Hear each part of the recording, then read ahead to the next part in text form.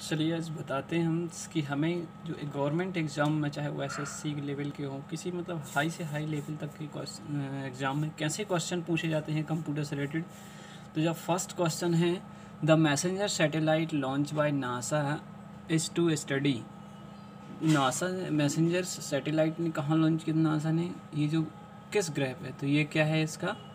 Mercury Venus Jupiter's ये सारे ग्रह नहीं है। तो यहाँ पे ये मरकरी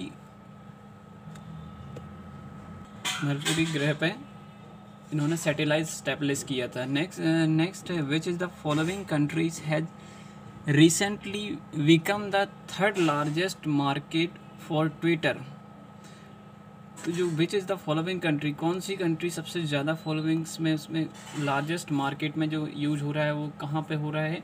ट्विटर ट्विटर कहाँ पे यूज़ हो रहा है वो? ब्राज़ील में। चाइना में नहीं हो रहा है, इंडिया में ज़्यादा ब्राज़ील। नेक्स्ट है processors speed computer is major जो कंप्यूटर की जो प्रोसेसर स्पीड है, वो हम कैसे मेजर करते हैं? ये लिखा है processor speed of a computer is measured in हम किसके through B P S M I P S baud hertz तो हार्टज में तो नापती नहीं है बी पी एस में भी नहीं नापती। ये जो मापते हैं किसमें? M I P S million instruction per second million extraction per second. Hertz में हम किसी तीव्रता को मापते हैं। नेक्स्ट क्वेश्चन है सी लैंग्वेज इज़ आ जो सी प्रोग्रामिंग लैंग्वेज है, वो किस तरह की लैंग्वेज है? आपकी लो लेवल लैंग्वेज है, ये लो ले या हाई लेवल लैंग्वेज है, मशीनी लेवल लैंग्वेज है, या असेंबली लैंग्वेज है? तो ये हमारी क्या है? एक हाई लेवल लैंग्वेज है। सी प्रोग्रामिंग एक हाई लेवल लैंग्वेज है, जो कि जनरल पर्पज़ के लिए यूज़ की जाती है। इसमें ऑप्स का कॉन्सेप्ट फॉलो नहीं होता है सी में। और सी प्लस प्लस होती है तो उप्स के कॉन्सेप्ट को फॉलो करती है। चलिए देखते हैं नेक्स्ट क्वेश्चन से the communication network which is use by large organisations communications एक कोई बड़ा ऑर्गेनाइजेशन से तो कम्युनिकेशंस के लिए नेशनल लेवल पर हमें किस ग्लोबल एरिया इस कॉल्ड तो वो ग्लोबल एरिया हमारा क्या कहलाएगा? जो है बड़े, एक बड़े लेवल पर नेटवर्क के थ्रू क्या करना है? कम्युनिकेशंस करना है। तो हम किसके थ्रू करते हैं? लैन तो लैन तो इसका होगा नहीं क्योंकि ये लोकल एरिया नेटवर्क है। वैन वाइड एरिया नेटवर्क, मैन तो हमारा क्या है? आपका जो है आंसर होगा वो वैन वैन क्या होगा? अगर हम बड़े प्लेटफॉर्म पर कम्युनिकेशंस के लिए कोई नेटवर्क यूज़ होता है तो वो आपका होता है वैन वाइड एरिया नेटवर्क नेक्स्ट है in which is the following area spreadsheet software is more useful यहाँ पे ये एक्सेल से रिलेटेड क्वेश्चन है कि एक्सेल में जो यूज़ होता है वो जो यूज़ होता है एक्सेल वो किसके लिए यूज़ होता है? फिजिकोलॉजीज पब्लिशिंग्स स्टैटिक्स या मैसेज सेंडिंग्स तो ये जो एक्सेल है स्प्रेडशीट है, ये किसके लिए? कैलकुलेशंस के लिए यूज़ की जाती है। तो यहाँ पे हम स्टैटिक्स जो स्टैटिक सांख्यिक, इसको हम सांख्यिक स्टैटिक्स को हिंदी में सांख्यिक बोलते तो यहाँ पे स्टैटिक्स होगा, क्योंकि ये ना तो फिजिकोलॉजी के पब्लिशिंग के लिए भी नहीं है मैसेज सेंडिंग के लिए भी नहीं है। ये कैलकुलेशन से रिलेटेड मतलब स्टैटिक्स से रिलेटेड के लिए यूज़ होता है। तो इसमें लिखा है ना following area spreadsheet software is more useful किसके लिए यूजफुल है? तो ये कैलकुलेशन के लिए यूज़ नेक्स्ट है द ट्रांसफ़र ऑफ़ डेटा एक जगह से दूसरी जगह ट्रांसफ़र का डेटा करना है। From a C P U to peripheral device of computer and achieve through तो इसके लिए हमें क्या यूज़ चाहिए? अगर हमें डेटा एक जगह से दूसरी जगह ट्रांसफ़र करना है यूजिंग अ कंप्यूटर्स तो उसके लिए हमें कोई ना कोई एक इंटरफेस यहाँ पर जो राइट आंसर होगा वो इंटरफेस है। जी डायरेक्ट लिखा है कि इंटरफेस की रिक्वायरमेंट होगी। इंटरफेस क्या करेगा? एक बीच का माध्यम होता है। पफर मेमोरी मॉडेम मॉडेम क्या करता है? आपके जो मॉडुलेशन और डिमॉडुलेशंस का जो कॉम्बिनेशंस होता है, वो मॉडेम का काम होता है। आपके एनालॉग सिग्नल को डिजिटल में दिखाना और डिजिटल को एनालॉग में दिखाना। कंप्यूटर पोर्ट्स तो पोर्ट्स तो अवेलेबल होंगे मोड्स इसमें बीच का एक माध्यम जो होता है इंटरफेस नेक्स्ट क्वेश्चन है which is the following items is not use to local area network LAN LAN network में क्या क्या इंटरफेस कार्ड केबल कंप्यूटर तो केबल रिक्वायरमेंट होगी।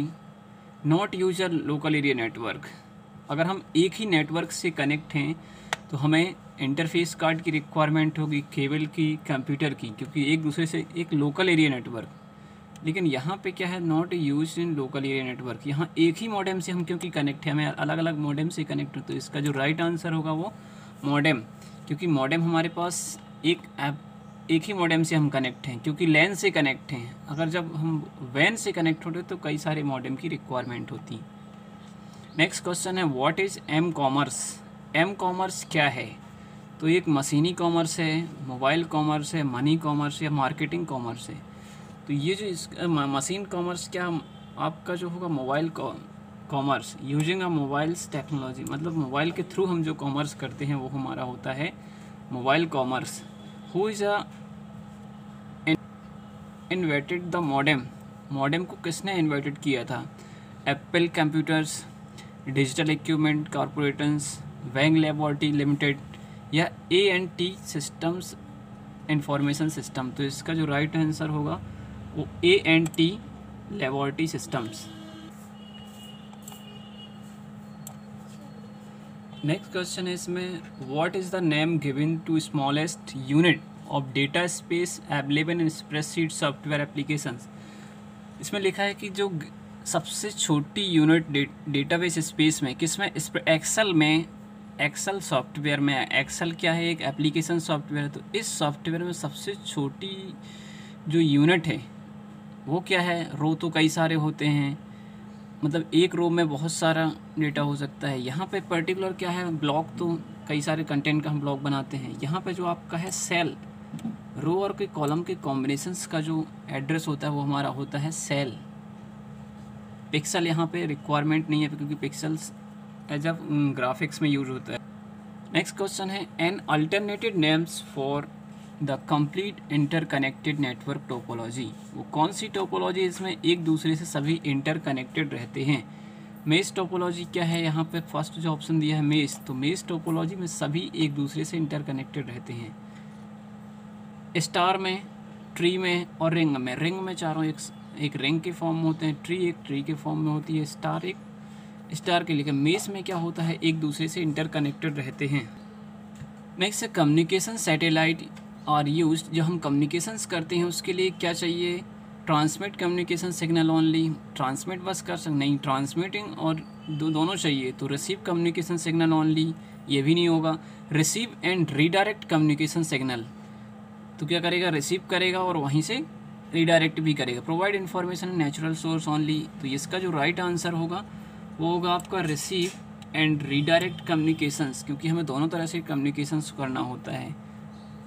है what type of information system would be recognise by digital circuit digital circuit के, जो digital form में data जो रिप्रेजेंट होता है, वो, उसको हम क्या बोलते हैं तो वो होता है आपका हेक्साडेसिमल नहीं होता है, यहाँ पे होता है आपका बाइनरी सिस्टम बाइनरी सिस्टम क्या है? आपका ज़ीरो वन फॉर्मेट का है. जैसे ऑन और ऑफ़ करते हैं तो यहाँ पर डिजिटल सर्किट वही हो रहा है कि आपको ऑन में लाना है. जैसे डिजिटल इलेक्ट्रॉनिक्स में होता है ये कि आपको ऑन या ऑफ़ बाइनरी सिस्टम में दो ही नंबर चलते हैं ज़ीरो और वन नेक्स्ट है आ television channel is characterise by television channel को किसमें कैरेक्टराइज किया गया है? फ्रिक्वेंसी ऑफ़ ट्रांसमिट सिग्नल तो ये क्या होगा आपका? फ्रिक्वेंसी और of transmitted signal velocity of transmitted signal नहीं होगा physical direction television screen size of picture tube picture tube के क्या अकॉर्डिंग नहीं चलेगा? वो क्या करेगा? जो आपकी फ्रिक्वेंसी होगी ट्रांस सिग्नल के ट्रांसमिट की,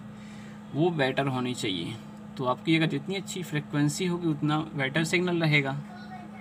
इस क्वेश्चन है जो बहुत ही पॉपुलर है। वो is the founder of Facebook which is the currently the number one social networking website in India जो फेसबुक है, वो number one website social media की नंबर वन वेबसाइट बन गई है। तो उसके जो फाउंडर हैं, वो कौन हैं?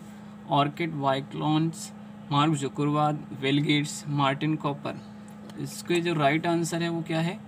मार्क जुकुरवर्ग मार्क जुकुरवर्ग हैं फेसबुक के CEO which is the computer was the first use interconnected drum for memory तो इसमें दिया है I B M six fifty I B M seven zero ये अलग अलग प्रोसेसर थे तो यहाँ पे क्या होता ड्रम का यूज़ हुआ था मेमोरी के लिए।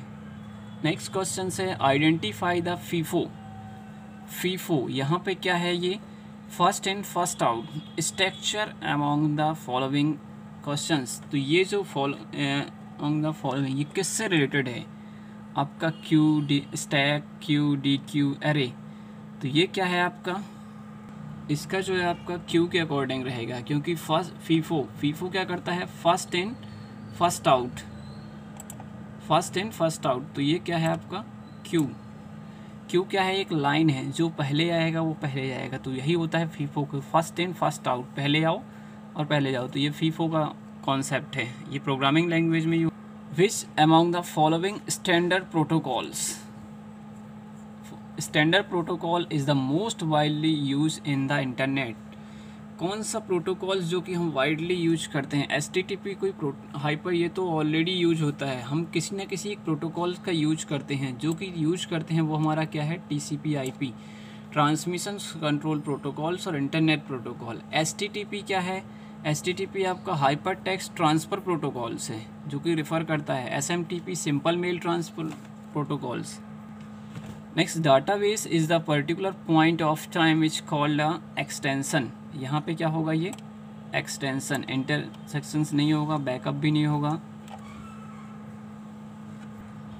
Which is the following not a operating system इनमें से कौन सा ऑपरेटिंग सिस्टम नहीं है? तो एंड्रॉयड क्या है एक? एंड्रॉयड तो ऑपरेटिंग सिस्टम है। विस्टा भी विंडो विस्टा भी ऑपरेटिंग सिस्टम है। आईओएस भी क्या है एक? एंड्रॉयड ऑपरेटिंग सिस्टम है। आपका क्या है? ओपेरा ओपेरा क्या है एक? ब्राउज़र है। तो यहाँ पे क्या है? Which is not a operating systems तो ओपेरा यहाँ पे ऑपरेटिंग सिस्टम नहीं है। इस तरह से